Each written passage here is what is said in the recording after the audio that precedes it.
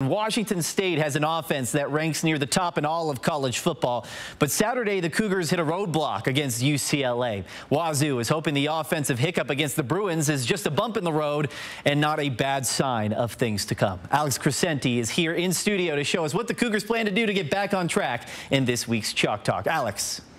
Yeah, Julian, overall, the Washington State offense has been pretty impressive so far this season, putting up more than 470 yards and 40 points per game. But the one area that's really held them back is the running game. Statistically speaking, they're one of the worst in the country at it. And if the Cougs want to be competing for a conference title late into the season, they really need to get that unit going and not rely so heavily on the legs of their quarterbacks. Midway through the second quarter against UCLA, Washington State handed the ball off to running back Nakia Watson three straight times. That resulted in just seven yards and a punt back to the Bruins. All part of their 12 total rushing yards on the day. What are we doing? What are we doing? While Watson is the team's leading rusher with 153 yards and a couple of touchdowns, the team only has just over 500 yards through five games. And quarterbacks Cam Ward and John Mateer are both in the top four in that category. Not exactly what you want to see in your running game.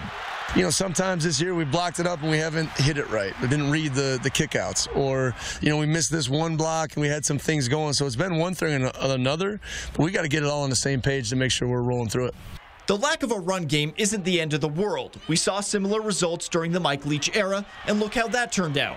But this team doesn't want to abandon the rush altogether. There was a lot of small things that we have to fix, uh, and I feel like that's one of the reasons why we lost last week. So, as we were watching film, we know, we, you know, we pointed out a bunch of stuff, a bunch of small details actually that we definitely have to fix in order to be victorious this weekend. Now, the bad news for Wazoo is the Arizona defense has been pretty effective at stopping the run to this point. They're giving up just 106 yards per game on the ground, which ranks 25th in the country. Julian, send it back over to you.